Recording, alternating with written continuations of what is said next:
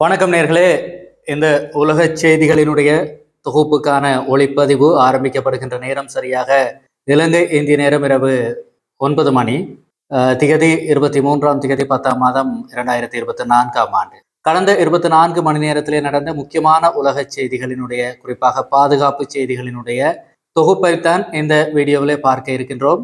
வழமையான செய்தி அறிக்கையிடலுக்கு மாறாக இன்று அனைத்து உலக நாடுகளினுடைய செய்திகளையும் தொகுத்ததாக இந்த தொகுப்பு வர இருக்கின்றது. குறிப்பாக முதலாவது விடயமாக நாங்கள் பார்த்தோமாக இருந்தால் இன்று பெரும் பேசுபொருளாக உலக நாடுகளில் இருந்த ஒரு விடயம். வடகொரியா தன்னுடைய படையிலே மூவாயிரம் பேரை ரஷ்யாவுக்கு அனுப்பி இருக்கின்றது குறிப்பாக உக்ரைனுக்கு எதிரான களமுனைகளிலே சண்டையிடுவதற்காக அனுப்பி இருக்கின்றது என்கின்ற ஒரு செய்தி வெளியாகி இருந்தது குறிப்பாக இது தொடர்பிலே பார்த்தோமாக இருந்தால் இதை முதற்கட்டமாக ஆய்வு செய்து வெளியே கொண்டு வந்தது தென்கொரியாவினுடைய உளவு நிறுவனம் என்று சொல்லப்பட்டது. இந்த ஒரு சூழ்நிலையிலே இந்த தகவலை அமெரிக்காவும் தற்போது உறுதிப்படுத்தி இருக்கின்றது. இந்த ஒரு நிலையில் வடகொரியா ஏற்கனவே அறிவித்திருக்கின்ற ஒரு விடயம் என்ன அப்படி என்று சொன்னால் பத்தாயிரம் வடகொரிய படைகள் ரஷ்யாவிற்கு உக்ரைனுக்கு எதிரான போரிலே பங்கு பெறுவதற்காக அனுப்பப்படுவார்கள் என்று சொல்லி ஏற்கனவே வடகொரியா கூறியிருந்திருக்கின்றதாம். அந்த நிலையில்தான் அந்த மூவாயிரம் பேர் முதற்கட்டமாக அனுப்பப்பட்டிருக்கின்றார்கள். உலகெங்கும் இந்த செய்தி சூடான ஒரு செய்தியாக வந்து கொண்டிருந்தது. குறிப்பாக லாஸ் ஏஞ்சல்ஸ் டைம்ஸ் கூட இந்த செய்தியை உறுதி செய்திருந்தது. இப்படியான ஒரு சூழ்நிலையிலே புதிதாக ஒரு தகவல் வந்திருக்கின்றது. அது என்ன அப்படி என்று சொன்னால் அந்த மூவாயிரம் பேருக்கு மேலதிகமாக தற்போது ஆயிரத்து ஐநூறு வடகொரிய துருப்புகள் ரஷ்யாவுக்கு அனுப்பப்பட இருக்கின்றார்கள் என்கின்ற ஒரு தகவலை த மாஸ்கோ டைம்ஸ் வெளியிட்டிருக்கின்றது. அதாவது ரஷ்யாவினுடைய ஒரு பத்திரிகை வெளியிட்டிருக்கின்றது.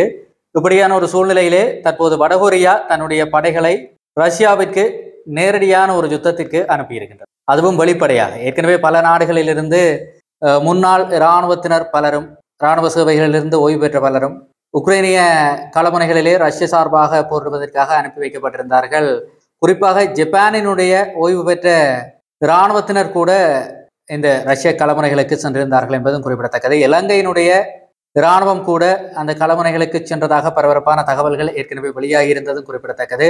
இவ்வாறான ஒரு சூழ்நிலையில் தான் தற்போது ஒஃபிஷியலாக முதல் தடவையாக இந்த ஒரு விடயம் வெளியாகி இருக்கின்றது ஏறக்குறைய நான்காயிரத்தி ஐநூறு வடகொரிய துருப்புகள் ரஷ்யாவுக்குள் சென்றிருக்கலாம் என்கின்ற ஒரு தகவல் உறுதிப்படுத்தப்பட்டிருக்கின்றது.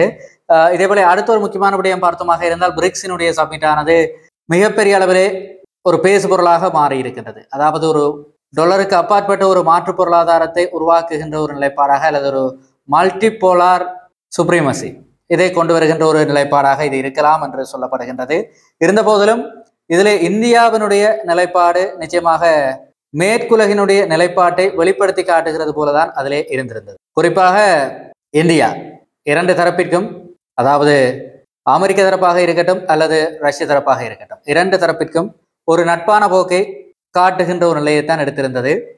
அதே போல இது ஒரு மல்டிபோலா சுப்ரீமசி என்று சொல்லி பார்க்கின்ற போது அதாவது ஒரு சில இடங்களில் மட்டும் இருந்த அந்த வல்லரசு நிலையானது தற்போது பல இடங்களிலே பிரிய போகின்றது.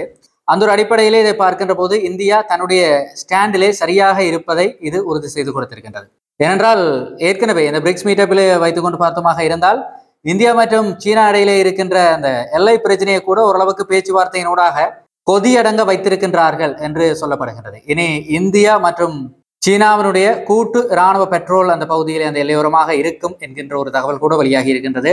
இப்படியாக இந்தியா தன்னுடைய ஸ்டாண்டை பிரிக்ஸிலே மிகவும் வலுவாகவும் ராஜதந்திரமான முறையிலும் வைத்திருக்கின்றது என்பது இதனூடாக வெளிப்படுத்தப்பட்டிருக்கிறது. அடுத்ததாக பார்த்தமாக இருந்தால் யூரோப்பியன் பர்டா பத்திரிகையானது ஒரு தகவலை வெளியிட்டு இருக்கின்றது நேர்களே. அதாவது ரஷ்யா தற்போது கருங்கடல் பிராந்தியத்திலே தாக்குதல்களை செய்து கொண்டிருக்கின்றது என்றும் இது மிகப்பெரிய அளவிலே ஒரு உலக பொருளாதாரம் அதிலும் அந்த உலக உணவு சப்ளையிலே ஒரு மிகப்பெரிய ஒரு நெருக்கடியை ஏற்படுத்த போகிறது என்று சொல்லியும் யுக்ரைனுடைய பிரைம் மினிஸ்டர் கீர் ஸ்டாமர் தெரிவித்திருப்பதாக அந்த பத்திரிகை செய்தியை வெளியிட்டிருக்கின்றது. இதில் ஒரு விடயத்தை பார்த்தமாக இருந்தால் ஏற்கனவே செங்கடல் பிராந்தியம் ஹவுதிகளினுடைய கட்டுப்பாட்டிலே மேற்குலகுக்கான கடல் வழி வளங்கல்களுக்கு மிகப்பெரிய ஒரு நெருக்கடியை கொடுத்து கொண்டிருக்கின்றது. இப்படியான ஒரு சூழ்நிலையிலே கருங்கடல் பிரதேசம் ரஷ்யாவினுடைய படைத்துறை நடவடிக்கைகளுக்கு உட்படுவதனூடாக மிகப்பெரிய அளவிலே ஒரு வளங்கள் சிக்கலானது ஐரோப்பிய நாடுகளுக்கு ஏற்படும் என்பதைத்தான் தற்போது யூகே பிரைம் மினிஸ்டருடைய இந்த கருத்து வெளிப்படுத்தி இருக்கின்றது. குறிப்பாக கடந்த மூன்று மாதத்திலே அறுபதுக்கும் மேற்பட்ட தாக்குதல்களை ரஷ்யா கருங்கட பிர- பிராந்தியத்திலே நடத்தி இருக்கின்றது என்றும் குறிப்பாக உக்ரைனினுடைய தானிய களஞ்சியங்களை குறிவைத்து இந்த தாக்குதல்கள் அதிகமாக நடத்தப்பட்டிருக்கின்றது என்றும் சொல்லப்பட்டிருக்கின்றது. குறிப்பாக துறைமுக உட்கட்டுமானங்களை குறிவைத்து தான் அதிகமான தாக்குதல்கள் நடத்தப்பட்டிருக்கின்றது என்றும் இது நிச்சயமாக ஒரு மிகப்பெரிய உணவு வளங்கள் கட்டமைப்பிலே ஒரு மெருக்க நெருக்கடியை கொண்டு வரும் என்று சொல்லியும் யுகேனுடைய பிரைம் மினிஸ்டர் கீர் ஸ்டாமரனுடைய கருத்து வழியாகி இருக்கின்றது. நிச்சயமாக இந்த ஒரு விடயம் நாங்கள் வருத்தமாக இருந்தால் கடல் வழி பொருளாதாரம் எந்த அளவிற்கு உலகிலே ஒரு தவிர்க்க முடியாத சக்தியாக மாறிக்கொண்டிருக்கின்றது. அது மீன்பிடி பொருளாதாரம் என்பதை விட இந்த கடல்சார் கட்டுப்பாட்டை வைத்திருக்கின்ற நாடுகள் தான் உண்மையிலேயே வல்லரசு அந்தஸ்தை தமிழகத்தை வைத்திருப்பார்கள். அந்த அடிப்படையிலே வானத்துக்கு மேலே செல்கின்ற விமானங்களை விட அதிசக்தி வாய்ந்த கடல் கலங்கள் பல நாடுகளினுடைய படைபலு சமநிலையை அல்லது படைபலு தரத்தை தீர்மானிக்கும். அதிலும் குறிப்பாக இந்த ஐரோப்பிய நாடுகள் மற்றும் ரஷ்யா போன்ற நாடுகளை பொறுத்தவரையிலே இந்த கடல் கலங்களிலே மிக முக்கியமான ஒரு கடல் கலனாக பார்க்கப்படுவது என்ன அப்படி என்று சொன்னால் ஐஸ் பிரேக்கர்கள். தம்முடைய ஏனைய தாக்குதல் ஃபிளீட்ஸ்களை பாதுகாப்பாக நகர்த்துவதற்கு பனிப்பாறைகளை தகர்த்து கொண்டு செல்லக்கூடிய ஐஸ் பிரேக்கர் கப்பல்களை மிக பிரமாண்டமான அளவிலே உருவாக்க வேண்டிய ஒரு தேவை இந்த துருவப்பகுதிகளை அண்டிய நாடுகளுக்கு இருக்கின்றது. அந்த அடிப்படையிலே ரஷ்யா தன்னட தன்னகத்தை ஒரு மிகப்பெரிய ஐஸ் பிரேக்கரை வைத்திருக்கின்றது. அது அமெரிக்காவை விட வலுவானது என்று சொல்லப்படுகின்றது. இரண்டாவது அந்தஸ்திலே சீனாவினுடைய ஐஸ் பிரேக்கர் இருக்கின்றது என்றும் சொல்லப்படுகின்றது. இப்படியாக கடல்சார் படைவலுவை உறுதிப்படுத்துகின்ற செயற்பாடுகளில் அந்த அந்த நாடுகள் ஈடுபட்டு கொண்டிருக்கின்றது. அப்படியான ஒரு செயற்பாடு தான் இந்த கருங்கடல் பிராந்தியத்திலே நடைபெற்ற ரஷ்யாவினுடைய படைத்துறை நடவடிக்கைகள் அவை ஏற்படுத்தி இருக்கின்ற பக்க விளைவுகள் பற்றித்தான் தற்போது யூகேனுடைய பிரைம் மினிஸ்டர் பேசியிருப்பது வெளிப்படுத்தி இருக்கின்றது. அடுத்த ஒரு விடயம் பார்த்தோமாக இருந்தால் வெள்ளை மாளிகையினுடைய ஒரு தகவல் ஒன்று உறுதிப்படுத்தி இருக்கின்ற ஒரு விடயம் என்ன அப்படி என்று சொன்னால் நேர்களே ரஷ்யாவினுடைய பல வெளிநாட்டு வங்கி கணக்குகள் ஃப்ரீஸ் செய்யப்பட்டிருக்கின்றது என்று சொல்லப்படுகின்றது. அப்படியான அந்த கணக்குகளை மையப்படுத்தியதாக ஐம்பது பில்லியன் டாலர் பணத்தை ரஷ்யாவினுடைய பணத்தை பயன்படுத்தி பணம் என்பதை விட சொத்துக்கள் தான் அந்த வெளிநாட்டு சொத்துகள் ரஷ்யாவினுடைய வெளிநாட்டு சொத்துக்கள் தற்போது பல நாடுகளிலும் குறிப்பாக அமெரிக்க ஆதரவு நாடுகளிலே கையகப்படுத்தப்பட்டிருக்கின்ற நிலையிலே ஜி செவன் நாடுகள் ஒன்றிணைந்து ஐம்பது பில்லியன் டாலர் அமெரிக்க டாலர் பெறுமதியான ஒரு லோனை உக்ரைனுக்கு வழங்க தயாராக இருக்கின்றதாம். குறிப்பாக அந்த லோனானது இந்த ரஷ்யாவினுடைய சொத்துகளுக்கு எதிராகத்தான் அந்த அசட்ஸுக்கு எதிராகத்தான் வழங்கப்பட போகின்றது என்கின்ற ஒரு தகவலும் வெளியாகி இருக்கின்றது. இந்த ஒரு விடயம் பார்த்தமாக இருந்தால் நேர்களே நிச்சயமாக எந்த அளவிற்கு ஒரு நெருக்கடி நிலையை எதிர்காலத்தில் ஏற்படுத்தும் என்பது கணிக்க முடியாத ஒன்றாகத்தான் இருக்கின்றது. ஏனென்றால் ஒரு சில காலகட்டங்களிலே இந்த உக்ரைன் ரஷ்யா போரானது நிச்சயமாக ஏதோ ஒரு காலகட்டத்தில் அது முடிவுக்கு வரத்தான் வேண்டும். அதிலும் ஒருவேளை அது படைத்துறை நடவடிக்கைகளால் அல்லாமல் பேச்சுவார்த்தைகளின் ஊடாக முடிவுறுத்தப்பட்டால் இந்த மிகப்பெரிய லோன் நிச்சயமாக உக்ரைனினுடைய அசட்ஸுக்கு எகெயின்ஸ்டாக மாறும். ஆகவே ஒரு மிகப்பெரிய போரை சந்தித்துவிட்டு திடீரென்று இயல்பு நிலைக்கு திரும்ப முயற்சிக்கின்ற உக்ரைனுக்கு அது இன்னும் ஒரு மிகப்பெரிய நெருக்கடியாகத்தான் இருக்கும். கடன்கள் வாங்குவது எளிது திரும்ப செலுத்துவது கடினம். அது தனிநபர்களாக இருக்கட்டும் அல்லது அரசாங்கங்களாக இருக்கட்டும் இது இரண்டுமே இதற்கு விதிவிலக்கு அல்ல. ஆகவே இந்த ஐம்பது பில்லியன் டாலர் மட்டுமல்ல நேர்களே ஏறக்குறைய இருநூத்தி அறுபது பில்லியன் டாலர்களை உக்ரைனுக்கு வழங்குவதற்கு ஜி செவன் நாடுகள் தயாராக இருப்பதாக ஒரு தகவல் வெளியாகி இருக்கின்றது. அந்த அந்த இருநூற்றி அறுபது பில்லியன் டாலர்களும் எதிலிருந்து வரும் அப்படி என்று சொன்னால் ஐரோப்பிய நாடுகளில் இருக்கின்ற ரஷ்யாவினுடைய சொத்துக்களினுடைய சம்பாத்தியத்தின் மூலமாகத்தான் அவை உக்ரைனுக்கு வழங்கப்பட இருக்கின்றது. ஆனால் அந்த லோனானது அஹ், பார்த்ததாக இருந்தால் அதனுடைய தெளிவாக அதை பார்த்தமாக இருந்தால் ரஷ்யாவினுடைய சொத்துக்கள் ஐரோப்பிய நாடுகளிலே சம்பாதிக்கின்ற தொகையானது பிணையமாக வைக்கப்படவில்லை. அந்த சொத்துக்கள் மட்டும்தான் பிணையமாக வைக்கப்படுகின்றது. தவிர்த்து அந்த பணமானது இங்கே லோனாக வழங்கப்படுகிறது. அதன் பின்னர் பார்த்தமாக இருந்தால் ஒருவேளை இந்த பிரச்சனையெல்லாம் சோல்வ் ஆயிடுச்சு அப்படின்னு சொன்னா உக்ரைன் மீண்டும் ஒரு பிணையத்தை கொடுக்க வேண்டும். ஆனால் இந்த பணத்தொகை திரும்ப அந்த நிறுவனங்களுக்கு வழங்கப்படுமா என்று சொன்னால் இல்லை. அது நேரடியாக அந்தந்த குறிப்பிட்ட நாடுகளுக்குத்தான் செல்வதற்கு வாய்ப்பு இருக்கின்றது. ஆகவே அதில் ஒரு மிகப்பெரிய ஒரு நெருக்கடியான ஒரு சிக்கல் நிலைமை இருக்கின்றது. அதாவது இப்படியாக என்ன சொல்றது? ஊர்ல சொல்லுவாங்க இல்லையா? வழித்தேங்காய் எடுத்து தெருப்பிள்ளையார் அடிக்கிற அப்படின்னு சொல்லி. அது மாதிரி. ஒரு நிலைப்பாட்டைத்தான் இந்த நாடுகள் செய்கின்றதா என்கின்ற ஒரு கேள்விதான் இதிலே வெளிப்படையாக எழுப்பப்படக்கூடிய ஒரு கேள்வியாக இருக்கின்றது. இதேபடியோ நிரந்தர அமைதி என்கின்ற ஒரு விடயம் பலராலும் எதிர்பார்க்கப்படுகின்றது. அந்த அமைதி வருகின்ற போது இந்த ஒரு லோன் நிச்சயமாக அவர்களுக்கு ஒரு நெருக்கடியாகத்தான் இருக்கும். இதேபோல உக்ரைனிய பத்திரிகையான கீவ் போஸ்டானது ஒரு தகவலை வெளியிட்டிருக்கின்றது. அதாவது டொனட்ஸ் ரீஜனில் இருக்கின்ற ரெட் கிராஸ் அலுவலகத்தை ரஷ்யாவினுடைய எரிகணைகள் தாக்கியிருப்பதாக ஒரு தகவலை அவர்கள் வெளியிட்டிருக்கின்றார்கள் நேரிலே இதேவேளை இந்த தாக்குதல் சம்பவம் தொடர்பாக அல்லது இந்த குற்றச்சாட்டு தொடர்பாக இதுவரை ரஷ்யாவிலிருந்து எந்த ஒரு பதிலும் கொடுக்கப்படவில்லை. இதேவேளை நேர்களே சிரியன் அரப் நியூஸ் ஏஜென்சியானது ரஷ்யாவினுடைய பாதுகாப்பு அமைச்சகத்தை மேற்கோள் காட்டி ஒரு தகவலை வெளியிட்டிருக்கின்றார்கள். அதாவது கடந்த இருபத்தி நான்கு மணி நேரத்திலே நிக்லோவேக்கா மற்றும் செரிபியங்கா எனப்படுகின்ற இரண்டு சிறு நகரங்களை அதாவது டொனட்ஸ் ரிப்பப்ளிக்கில் இருக்கின்ற இரண்டு சிறு நகரங்களை உக்ரைனுடைய கட்டுப்பாட்டிலிருந்து ரஷ்யா விடுவித்திருப்பதாகவும் குறிப்பாக இந்த படைத்துறை நடவடிக்கையின் போது எழுபத்தி எட்டு ட்ரோன் விமானங்களை சுட்டு வீழ்த்தியதோடு பல மேற்குலக தயாரிப்பு ஆயுதங்களையும் வாகனங்களையும் தகர்த்து அளித்திருப்பதாக ரஷ்யன் டிஃபென்ஸ் மினிஸ்ட்ரி தெரிவித்திருப்பதாக சனா எனப்படுகின்ற சிரியன் அரப் நியூஸ் ஏஜென்சி செய்தியை வெளியிட்டிருக்கின்றது. தொடர்ந்து மத்திய கிழக்கு செய்திகளை பார்த்தமாக இருந்தால் நேர்களே சாயிட் சஃபியால்டின் எனப்படுகின்ற ஹிஸ்புல்லாவினுடைய ஒரு மூத்த தளபதி அவர்தான் ஹிஸ்புல்லாவினுடைய அடுத்த கட்ட தலைவர் என்று சொல்லி அதாவது ஹசன் நசரல்லாவினுடைய சக்சஸராக அவரைத்தான் ஹிஸ்புல்லாக்கள் நியமித்திருப்பதாக பல்வேறு ஊடகங்களிலே செய்திகள் வெளியாகி இருந்தது. ஆனால் ஹிஸ்புல்லா இதுவரையும் இதுவரையிலே அவரை தம்முடைய அடுத்த தலைவராக இதுவரை நியமிக்கவில்லை. அதேவேளை நேரடியாக தற்போது ஹிஸ்புல்லாவிற்கு யார் தலைவர் என்பது கூட வெளியே யாருக்குமே தெரியாது. இப்படியான ஒரு சூழ்நிலையில் தான் சாயித் சஃபியால் டின்னினுடைய அந்த மர்மமான மறைவு நிலையானது. அவர் மரணித்து விட்டார் என்கின்ற ஒரு பலத்த சந்தேகத்தை ஏற்படுத்தியிருந்தது. இஸ்ரேல் தரப்பு அதை இதுவரை காலமும் கூறிக்கொண்டிருந்த நிலையிலே தற்போது ஹிஸ்புல்லா தரப்பு அவருடைய மரணத்தை உறுதி செய்திருக்கின்றது என்கின்ற ஒரு தகவல் வந்திருக்கின்றது. குறிப்பாக பலஸ்தீனத்தில் இருக்கின்ற எதிர்ப்பு போராளிகளினுடைய கமிட்டி ரெசிஸ்டன்ட் கமிட்டி எனப்படுகின்ற கமிட்டியானது அவருக்கான இரங்கல்களை கூட இன்று பலஸ்தீனிய நேரம் சரியாக மாலை ஆறு மணி நாற்பத்தி மூன்று மூன்று நிமிடம் அளவிலே செய்திருக்கின்றார்கள். அடுத்த ஒரு முக்கியமான செய்தியை பார்த்தமாக இருந்தால் சரியாக ஆறு மணி நாற்பது நிமிடம் அளவிலே லெபனானிலிருந்து ஒரு அறிவித்தல் வந்திருக்கின்றது.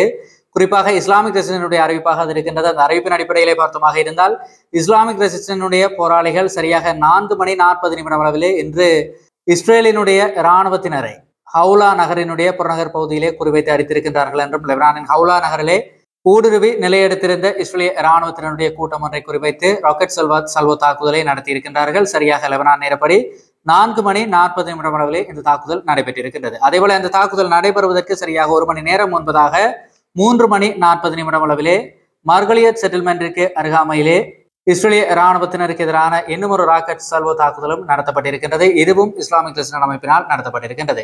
மேலும் இந்த செய்திகளை அல் மைடின் பத்திரிகையானது உறுதி செய்திருக்கின்றது. இதேவேளை அல்மாட் செட்டில்மெண்ட்டுக்கு அருகாமையிலும் இதே போன்ற ஒரு தாக்குதல் சரியாக லெபனானிய நேரம் மாலை மூன்று மணி நாற்பத்தி ஐந்து நிமிடம் அளவிலே இஸ்லாமிக் கிறிஸ்டனால் நடத்தப்பட்டிருக்கின்றது. மேலும் இதற்கு முதல் நடந்த தாக்குதல் அதாவது மூன்று மணி நாற்பது நிமிடத்துக்கு நடந்த தாக்குதல் நடந்த அதே நேரத்திலே மெசக் ஆவும் எனப்படுகின்ற இஸ்ரேலிய இராணுவத்தினுடைய ஒரு செட்டில்மெண்ட் ஒன்றும் குறிவைத்து அடிக்கப்பட்டிருக்கிறதாக ஒரு தகவல் வந்திருக்கின்றது. ஏற்கனவே இன்று மட்டும் பார்த்தோமாக இருந்தால் அந்த குறிப்பிட்ட கால இடைவெளிக்குள் மொத்தமாக ஆறு தாக்குதல்கள் நடந்திருப்பது அல்மைடின் பத்திரிகையூடாக உறுதி செய்யப்பட்டிருக்கின்றது நேர்களே. மேலும் இந்த தாக்குதல்கள் ஒரு பக்கம் இஸ்லாமிக் ஜிஸ்டினால் நடத்தப்பட்டு கொண்டிருந்தாலும் கூட இஸ்ரேல் தரப்பிலிருந்து லெபனானுக்கு எதிரான கடுமையான வான்வழி தாக்குதல்கள் நடத்தப்பட்டிருக்கின்றது. அதைவிட ஆர்டரிஷியல் தாக்குதல்களும் நடத்தப்பட்டிருக்கின்றது. குறிப்பாக லெபனானினுடைய மேற்கு பகுதியை குறிவைத்து கடுமையான இஸ்ரேலியன் ரெய்ட்ஸ் என்று நடத்தப்பட்டிருப்பதாக தகவல் வெளியாகி இருக்கின்றது. இரண்டு தரப்புமே வலுவான சமரை என்று செய்திருக்கின்றார்கள். இதேபோல இஸ்ரேலிய மீடியா பிளாட்ஃபார்மை மேற்கோள் காட்டி அல் ஒரு செய்தி ஒன்று வெளியாகி இருக்கின்றது நேர்களே. அதாவது இஸ்ரேலிய இராணுவத்தினர் களமுனையிலே காயமடைந்த இஸ்ரேலிய இராணுவத்தினரை ஹெலிகாப்டர்கள் மூலமாக எவாக்குவேட் செய்து பீர்ஷிபா நகரிலே இருக்கின்ற சரோகா மருத்துவமனையிலே அனுமதித்திருக்கின்றார்கள் என்று ஒரு தகவலை அல்மைடின் பத்திரிகை உறுதி செய்திருக்கின்றது. உறுதி செய்த நேரம் சரியாக மாலை ஐந்து மணி நாற்பத்தி ஆறு நிமிடம். இதேபோல இஸ்லாமிக் ரசிகனுடைய தாக்குதல் ஒன்று சரியாக மூன்று மணி முப்பது நிமிடம் அளவிலே இன்று ருவாய்சிட் அலலாம் சைட்டை குறிவைத்து நடத்தப்பட்டிருக்கின்றது. குறிப்பாக கேஃபிர் சுபா மலைத்தரலில் இருக்கின்ற இந்த ருவாய்சிட் அலலாம் சைட்டானது இஸ்லாமிக் ரெசிடனுடைய துல்லியமான ராக்கெட் சல்வ தாக்குதலுக்கு உள்ளாகி இருக்கின்றது என்கின்ற தகவல் தான் இதனூடாக உறுதிப்படுத்தப்பட்டிருக்கின்றது. இதேவேளை நேர்களே பலஸ்தீன நேரம் சரியாக மாலை நான்கு மணி நாற்பத்தி ஆறு நிமிடம் அளவிலே அல் கசாம் படைப்பிரிவானது ஹமாசனுடைய அல் கசாம் படைப்பிரிவானது நெட்சரி மேக்சிஸிலே ஒரு தாக்குதலை நடத்தி இருக்கின்றார்கள் ஒன் ஒன் ஃபோர் எம்எம் அதாவது நூற்றி பதினான்கு மில்லிமீட்டர் ரஜும் வகை ராக்கெட்டுகளை பயன்படுத்தி இந்த ஒரு தாக்குதலை இவர்கள் நடத்தியிருப்பதாக தகவல் உறுதிப்படுத்தப்பட்டிருக்கின்றது. மேலும் இந்த தகவலை அல் மைடின் பத்திரிகை உறுதி செய்திருக்கின்றது. அடுத்ததாக இன்னும் ஒரு மிகப்பெரிய மிசைல் மரே பரேஜ் தாக்குதல் ஒன்று. லெபனானில் இருந்து இஸ்ரேலிய இராணுவ நிலைகளை நோக்கி நடத்தப்பட்டிருப்பதாக இஸ்ரேலியன் மீடியா பிளாட்ஃபார்மை மேற்கோள் காட்டி அல்மைடின் பத்திரிகை செய்தியை உறுதிப்படுத்தி இருக்கின்றது ஆம்நேயர்களே உலக செய்திகளுடைய தொகுப்பை இத்துடன் முடித்துக் கொள்ளலாம் என்று இருக்கின்றோம் எவ்வளவு நேரம் வந்துச்சு அப்படின்னு தெரியல எனக்கு தெரிந்த ஒரு இருபது நிமிடங்கள். ஸோ கட் பண்ணுறப்போ எவ்வளோ டைம் வருதுன்னு தெரியல. இருந்த போதிலும் இதை விட அதிகமாக பேசினால் அது நேரலுக்கு பொருத்தமானதாக இருக்காது இல்லையா? ஸோ முடிந்த அளவுக்கு ட்ரிம் பண்ணி தான் இந்த நியூஸும் வரும். அதே போல நேர்களை இன்னும் ஒரு முக்கியமான விடயம் என்ன அப்படின்னு சொன்னால் செய்திகளை பிரித்து தரலாம் அப்படின்னு சொல்லி இருக்கின்றோம் அதாவது இந்த உலக செய்திகள் இந்த பாணியிலே வரும் அதே போல அமெரிக்கா கனடா ஐக்கிய ராஜ்யம் மற்றும் ஏனைய ஐரோப்பிய நாடுகள் இவற்றை உள்ளடக்கியதாக புலம்பெயர் தமிழர்களுக்கான செய்திகளை ஒருங்கிணைத்து ஒரு புதிய செய்தி தொகுப்பையும் நாங்கள் வெளியிடலாம் என்று இருக்கின்றோம். அதற்கான முயற்சிகளில் தற்போது ஈடுபட்டு கொண்டிருக்கின்ற நிலையிலே தனித்தனியே வாட்ஸ்அப் குரூப்கள் அதற்காக அவற்றுக்காக உருவாக்கப்பட்டிருக்கின்றது கீழே அதனுடைய லிங்க்ஸையும் தருகின்றீர்களே முடிந்தால் அந்தந்த நாட்டைச் சேர்ந்தவர்கள் அதிலே தனியே சேருமாறு கேட்டுக்கொள்ளப்படுகின்றீர்கள். அதாவது என்ன சொன்னால் இப்போ ஒரேடியாக நம்ம சேனலில் போடுறப்போ அது எல்லோருக்குமே போய் சேராது. அதிகமான வீடியோக்கள் வருகின்ற போது அது அனைவருக்கும் போய் சேராது. ஆகவே நோட்டிஃபிகேஷன் எல்லாம் பெருசாக வராது. ஆகவே நீங்கள் இருக்கின்ற நாடுகளுக்கு ஏற்றது போல அந்தந்த நேரங்களிலே அந்தந்த செய்திகளை அப்படியே தொகுத்து வழங்குவதற்கு ஏற்றது போல ஒரு முயற்சியை தான் தற்போது செய்திருக்கின்றோம். ஆகவே முடிந்த அளவிற்கு இந்த சேனலை சப்ஸ்கிரைப் பண்ணியிருக்கிறது உறுதி செய்யுங்க. அதே போல் கீழே இருக்கிற அந்த வாட்ஸ்அப் நம்பர் அதை சேவ் பண்ணிவிட்டு நீங்கள் எந்த நாட்டு செய்திகளை அதிகம் விரும்புகிறீர்களோ அதையும் கமெண்ட்ல சொல்லலாம். அதே போல கீழே தனித்தனியாக வாட்ஸ்அப் குரூப்பும் வந்து ஆட் பண்ணி விடுறேன். ஸோ உங்களுக்கு தேவையான செய்திகள் எந்தெந்த நாட்டு செய்திகள் பண்ணுமோ அந்த குரூப்பில் ஜாயின் பண்ணிங்க அப்படின்னு சொன்னால் அந்தந்த செய்திகள் மட்டும் உங்களுக்கு பிரத்யேகமாக வரும். ஸோ ஒரு புதிய முயற்சி தான் இது. எந்த அளவுக்கு சாத்தியம் அப்படின்னு தெரியல. இணைந்து இந்த முயற்சியை செய்து பார்க்கலாம் என்று இருக்கின்றோம். ஸோ நேர்கள் வழக்கம் போல் உங்களுடைய ஆதரவை தரமாறு கேட்டுக்கொள்ளப்படுகின்றீர்கள். சந்திப்போம்.